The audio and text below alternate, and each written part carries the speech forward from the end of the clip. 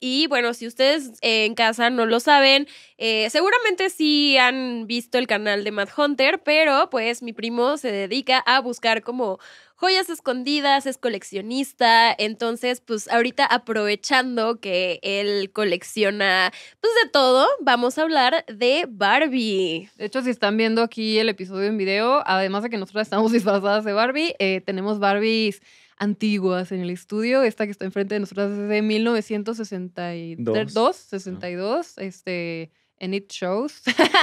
y se nota, está, güey, está súper diferente a las Barbies que conocemos y nos trajo unas allá también de los 80s y de los 70s. Entonces, neta, pues hay, hay mucho de dónde cortarle a esta tela. Y aparte de que, pues claramente vamos a hablar de nuestra experiencia jugando a las Barbies, qué Barbies teníamos y así. Así que quédense hasta el final porque neta se va a poner bien bueno. O sea, está cabrón como que todo lo que trae detrás eh, la Barbie, o sea, porque tú dirías, ah, es solo una muñeca, pero en realidad sí es un icono, como dices tú, o sea, sí de verdad tuvo un impacto y ha tenido un impacto y ha seguido teniendo un impacto y seguirá teniendo un impacto muy cabrón, como en la cultura, más que en las niñas, yo siento. ¿no? Exacto, para todos, pero existe el tabú que es bien raro, o sea, siempre que digo, oye, yo colecciono Barbie, lo primero que me, ay, ¿cómo crees? Sí. ¿No? Y sí también pasa que en el ambiente de coleccionismo de Barbie, ahorita les cuento, porque es un mundo infinito. O sea, hay un mercado en Ciudad de México solo especializado en Barbie. Bueno, en fashion dolls, ¿no? Que son como todo este estilo de muñecas. Entonces, cuando, cuando inicio en este mundo, pues te topas mucho con que dices, güey, casi no hay hombres heterosexuales que les guste coleccionar y yo lo fomento. Todo el tiempo estoy con que no pasa nada, disfrútenlo, es un ícono y es el juguete más histórico que hay, ¿no? Y entonces la gente como que dice, sí es cierto. Pero al adentrarme en los grupos, te das cuenta que primero mujeres, después gente gay y después muy poquitos hombres, así, bueno, he- hetero, que digan, güey, yo quiero Barbie, pero no, no lo entienden como lo- la belleza. A mí es como, co- por ejemplo, ahora que se pone de moda el anime y quieres las monas chinas, ¿no? Claro. Esas chichonas así que de, de- de anime. Y pues tener esto es tener eh, una modelo, una pin-up, ¿no? Ajá, es que justo según yo es como la primer muñeca, o sea, corrígeme si estoy mal, pero según yo es la primer muñeca como que tiene forma de, de adulta, pues, o sea, que no es una bebé o cosas así. Ese fue el hit. Ajá. Exacto. O sea, su creadora, Ruth Handler, agarra y se va de viaje, ¿no? Se va a Europa. Pues allá siempre, en esa época sí era mucha la diferencia de apertura en música, en droga, en todo. Entonces ve esta muñeca que en realidad era, no era una muñeca para niñas. Y la era un- drogada. y se la Y trae. de wow. No, la encuentra y era, un- y era un como promocional, una mascota, bueno, como por decirlo así. Era una tira cómica, Sí. eroticona. Ajá. Y era una Betty Bob. Ándale, una Era- Betty Bob. se llamaba Lily, ¿no? Lil- Build Lilith. Build Lilith. Lily, así Lily. ¿no? Build Lily. Y por, Lilith es el satán, ¿no? de Sí. Satán, ajá, sí. Pero, o sea, se llamaba Build Lily, la encuentra y pues era totalmente una, o sea, era una pin-up, ¿no? Era una, una cosa más erótica para los varones. Según se dice que hasta que ellos la compraban y se la daban de regalo a, a la chava que le gustaba, como para insinuarle lo que querían, ¿no? Guau. Yo había visto, o sea, justo ayer nos aventamos así, igual en drogas, ¿no? El, el- el iceberg de Barbie y toda la historia de Barbie. wow. Ajá, y yo estaba viendo justo cómo empieza esta muñeca, que era la tira cómica, que aparte la pusieron como de relleno en el periódico, como los cómics de Garfield, pero era una morra guapa. era una morra guapa Sí, y eran sí. cortitas así de que siempre estaba como, eh, como Agachada, ¿no? siempre estaba así como de que, ay, no me molestes, yo, yo solo soy una chica, ¿no? Ajá. Eh, Ajá, había Era una... una femme que- fatal. Ajá, que, que la mencionan una donde ella llega como con una divina y le dice, oye, eh, ¿me puedes dar la dirección de este hombre rico y guapo, por favor? O sea, de que se la, se la pasaba buscando ella, pues ahí coger, trabajando también, porque hablaba con su jefe, o sea, y con sus amigas, pues. Entonces, o sea, era una, pues, chava, era una morra, así tenía como que su vida y así, y sacaron esta muñeca y justo lo que estabas diciendo, eso de que hay que los hombres tener Barbies y así, es irónico porque empezó siendo algo que compraban los hombres. Exacto. Únicamente, porque era, decían que, ay, qué mona tan guapa, ¿no? Y las vendían como en las tiendas de cigarros y así, y las, y las ponían en los coches, o sea, de que... Claro. Sí, Ajá, era como el ¿no? póster de vulcanizadora, pero 3D. Ándale, exacto. Porque justo Exacto. ellos veían la tira cómica y decían, no, yo quiero tocar a la muñeca. y de ahí sale, pero justo ese, eso fue lo que sacó a la Barbie, de que los vatos, pues. Y luego la creadora la ve y dice, güey, me la llevo, compra una, se la lleva a Estados Unidos y totalmente se la fusilan, o sea, es de que la agarran así casi casi la meten en yeso y le sacan el molde, o sea, rostro, todo era idéntico. Pero en esa época, pues no había redes sociales, no te enterabas en un día que ya tenían tu muñeca al otro lado del mundo. Y nos enteramos 100 años después, güey. Pero, ¿cuál fue el hit? El hit fue eso, que Ruth Handler se dio cuenta que las niñas lo que querían eran ser adultas, querían ser jovencitas, ¿no? Entonces dijo, güey, una muñeca de trapo, el bebé, el tal, nadie quiere ser eso. Entonces donde pegó fue cuando se dio cuenta que el hit era, la niña quiere ser Barbie, ¿no? Quiere ser esa adolescente guapérrima que se vuelve astronauta y se vuelve tenista y se vuelve eh, todo, ¿no? Eso siento que es como en lo que, lo que la rompieron, de que, güey, o sea, no, antes no era de que, ay, voy a ser mujer presidenta y así, pero era de que la Barbie presidenta y la Barbie astronauta y la Barbie, como que, pues, este mame de sé lo que quiera hacer. O sea, es como, güey, todas las profesiones podía hacerlo, ya sabes. Entonces era como, como que podías explorar más cosas, no era como, no sé, por ejemplo, los niños era de que, Max Steel, nada más, agárrate a putazos, ya sabes, o sea, sí, es que había muchas. Yo me acuerdo que llegó un punto en el que las podías tronar las rodillas y se, ya se doblaban como para sentarse, ya sabes, no se sentaban así todas tiesas, pero la que, la que decías de las que, ya sabes, o sea, Ballet y Barbie también está estrechamente relacionado, o sea, todas las películas de Barbie eran de que Barbie y el cascanueces, Barbie y el lago de los cisnes y así, entonces... Y todas bailaban ballet, las perras. Ajá, sí, güey. De hecho, hay, una teoría de que todas, todas las películas están conectadas y no sé qué. Ah, sí. Pero, güey, la del cascanueces, yo me acuerdo que, eh, pues como era de ballet, tienen que hacer posiciones de ballet, ¿no? Entonces le podías doblar las rodillas y eran como bisagritas Verga, güey, mm. ¿cómo me pellizcaba yo con eso? Ah, yo también, sí, las que tenían los cuerpos de bisagras, o sea, tú querías jugar con ellas y, te, agarraba. Sí, también los Kens, o sea, sí tenían como más cuerpo flexible. No entiendo yo para qué, pero sí. ah, sí es cierto. También los de los de Maicín sí se movían más, no sé para qué. Pues lo que contabas, que decías que tú sí los ponías a parchar, ¿no? Sí, güey. todos, todas, todas poníamos a las Barbies a coger. Y la que diga que no, la neta es una psicópata. Güey, yo, yo, la primera vez que, sentí excitación sexual. Güey, te juro, estaba jugando a las Barbies con una amiga y me dijo, vamos a ponerlas a hacer el amor. Y yo, o cada parte, güey, el término, me dijo, vamos a ponerlas a hacer el amor. Y yo, güey, sentía ganas de hacer pipí en mi mente. Entonces era, le dije, le pregunté a mi amiga de que, oye, ¿no sientes cuando jugamos a esto ganas de hacer pipí? Y mi amiga, no.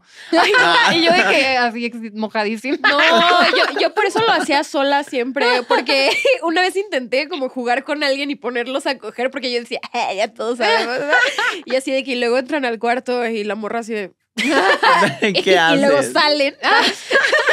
así de, ajá, de que no vamos a jugar a esto, amiga. Y es, que, es como cuando los hombres se encierran a masturbarse. o sea, de que no, no va a pasar. Nosotras no somos ese tipo de gente. No, yo la neta sí lo llegué a hacer. O sea, de hecho, una amiga me, dijo, me preguntó una vez, o sea, la primera vez que escuché el término hacer el amor, me dijo de que, ¿sabes lo que es el amor? Y yo, Sí, pero yo pensaba que era de que, te conquistaran, ya sabes.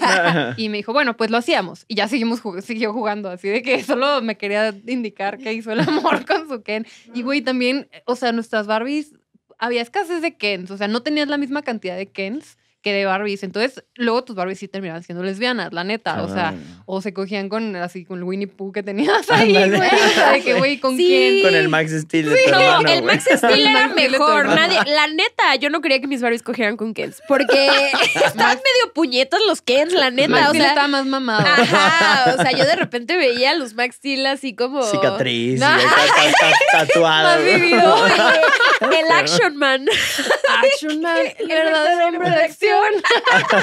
Ese era otro, güey, pero estaban bien mamados y estaban malotes, güey. Yo quería que mis Barbies cogieran con ellos, güey. De hecho, ¿te acuerdas cuando en los cereales salía un DVD, no sé si era de Barbie o de MySim, pero era una película de Max Steel y otra película de Maicino o de Barbie, no me acuerdo de qué, güey, pero era como por si tenías un hermano, de que no sé, no sé qué género sea tu hijo, pero ahí está el cereal para que, le lo que le sirva. Sí, o pero sea, y eso, como niño yo me acuerdo que sí te daban ganas de jugar. O sea, yo siento que el 90% de los hombres queríamos jugar con Barbies y no de solo, sino que llegabas a casa, no sé, de de los amigos de tus papás tenían una niña y de repente tenía la mansión con el jacuzzi, el Corvette, güey, el cohete espacial.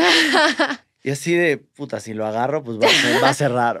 ¿No? Sí, Qué sí, poca, sí. güey, porque la neta, o sea, sí te divertías muchísimo. Güey, ¿Qué la tiene de neta malo? es que sí, o sea, yo le deseo a todo mundo jugar con Barbies porque es una experiencia cabrona, o sea, es como poder tocar a tus Sims, ya sabes, o sea, Yo luego me encuentro colecciones y sí, las niñas tenían bastantes Barbies, ¿no? Nada más que así parece una madeja, están todas amarradas por el Sí. mismo cabello. Ah, el pelo.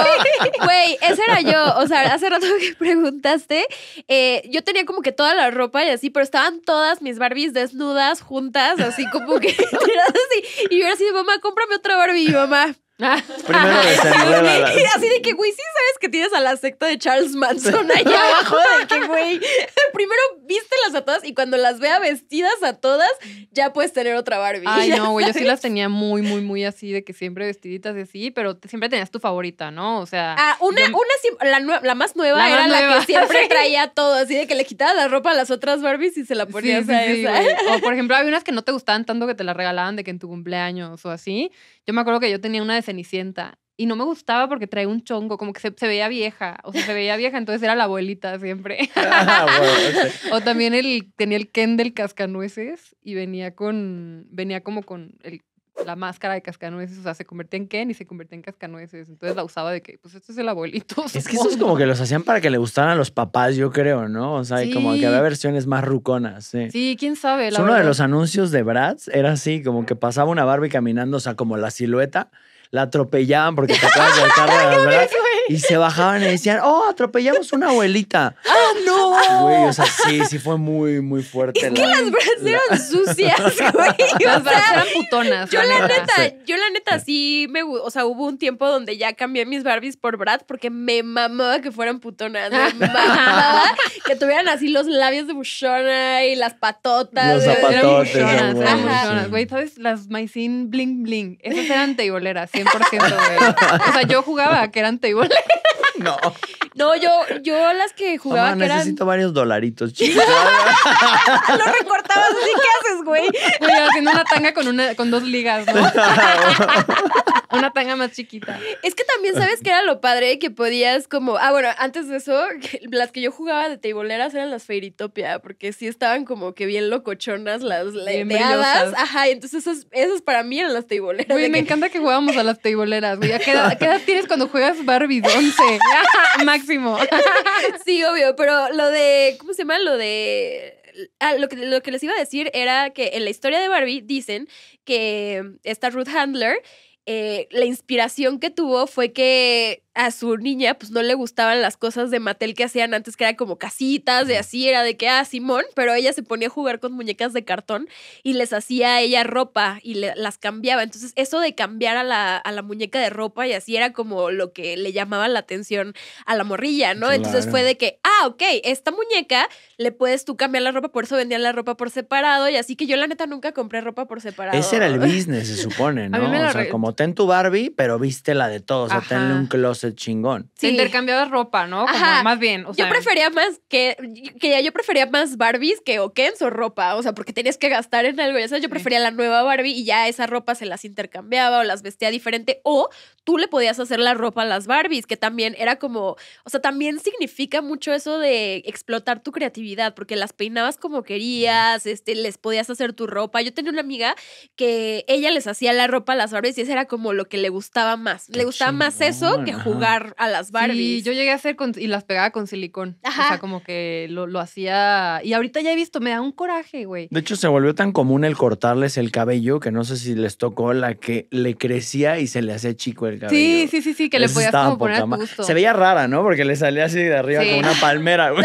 También, güey, había una que, que tenía el pelo, me acabo de acordar, que tenía el pelo de colores, pero no, o sea, mi- medio pelo de, de morado y medio pelo normal, entonces le volteabas como que esto, como que el cuero cabelludo. Ajá, para que cambiara de color. Ajá, para que cambiara de colores, Qué estaba súper chida. En los sí, 70 había unas con pelucas, o sea, así como la Barbie Ajá. con el cabello de plástico, o sea, como si tuviera un chongo de plástico y traía cinco pelucas. Ay, qué Ah, chido, poca madre, sí, sí, sí. Ahí me tocó una que era nada más la cara de Barbie y tú la maquillabas y la peinabas. O sea, yo creo que Era la también. cabezota. Sí, yo creo que también nació de eso de que, güey, qué, qué mamada estar haciéndolo chiquito, güey. Entonces te, te sacaban la cabezota de Barbie para que lo hicieras. Ah, así. pues el Bratz hizo lo mismo, Sí. creo, yo me acuerdo. Sí, sí. O la Barbie tamaño real. Esa yo nunca la tuve, me daba miedo, la neta. Que era como a tu tamaño y venía Ah, con un cómo vestido de tu talla también, así de Sí, güey, eso ya era. Megan, O sea, güey. ya como morro, como morro ya te la fajabas.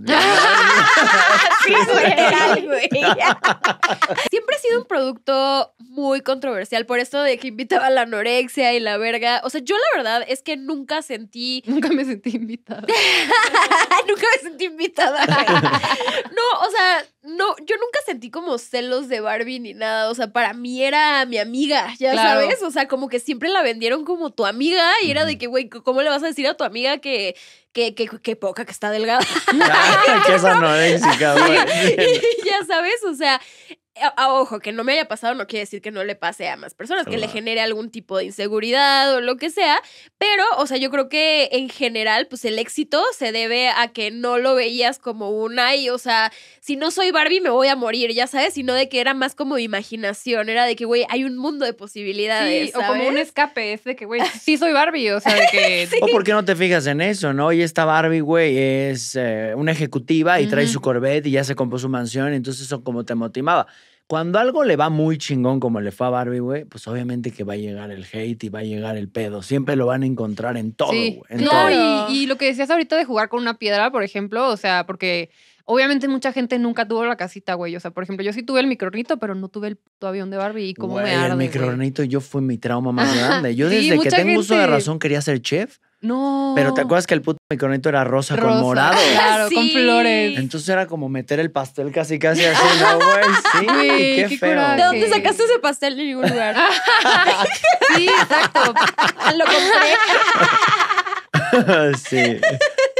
Ay, no, sí. Y aparte el microornito fue una frustración bien cabrona para todo el Para mundo porque todos. justo como dices, luego se agotaba. Ya sabes, antes era limitado todo el pedo de estos. ahorita ya se puede producir cualquier. O sea, ahorita ya podemos imprimir una Barbie, un microornito acá, ¿no? No, y Pero- antes el que compraba la licencia, pues era un güey con billete, pero haz de cuenta, no sé, pues era un señor de 60, 70 años, güey, que decía, a ver, pues, ¿cuál es tu catálogo? Este. Y escogía lo que él le gustaba. Ahorita hay análisis de mercado, cosas ya muy cabronas. Claro. Pero hace 50, 40 años, pues llegaba Sí. el señor y, a ver, yo como dueño, pásame tu catálogo y escogía. Entonces, por eso llegaban esos así Sí. de, el Ken Cascanueces. El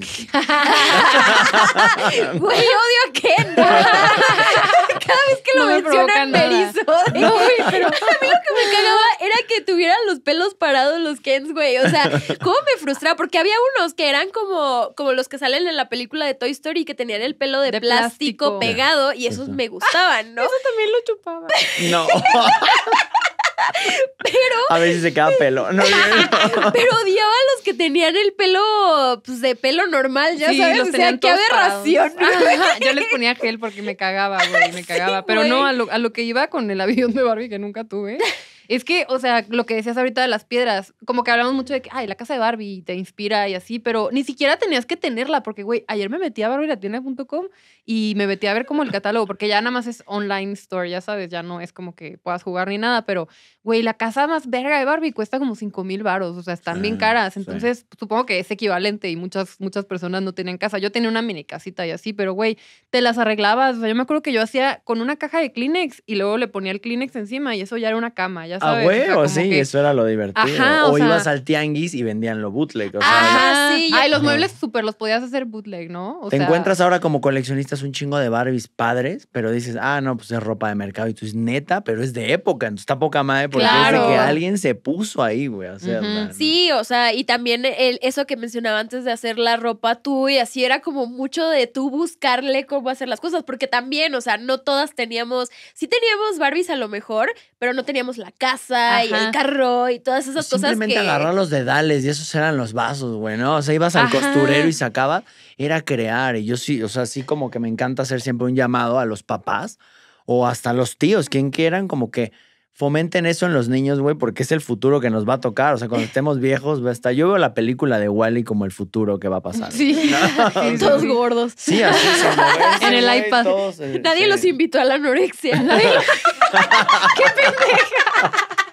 eso de que tienes el juguete. O sea, yo neta, les digo, ayer me puse a ver comerciales y me acordé de las Barbies que yo tenía y así, me acuerdo perfecto de, de muchas, ya sabes, de que, güey, la maestra que traía el pizarrón, que traía un quisecito y así, o sea, como que te marcan porque sí es de que tenías uno, era de que, güey, o sea, esto, este juguete me va a durar toda la temporada. Güey, la embarazada. Hablando de Barbies eh, controversiales. Ah, sí, hay que hablar de Barbies controversiales. La Barbie embarazada, yo estaba viendo el iceberg de Barbie y sí me acuerdo de ella. Yo no me acuerdo del pedo porque pues obviamente no había redes sociales, entonces era de que, ah, Barbie embarazada y ya.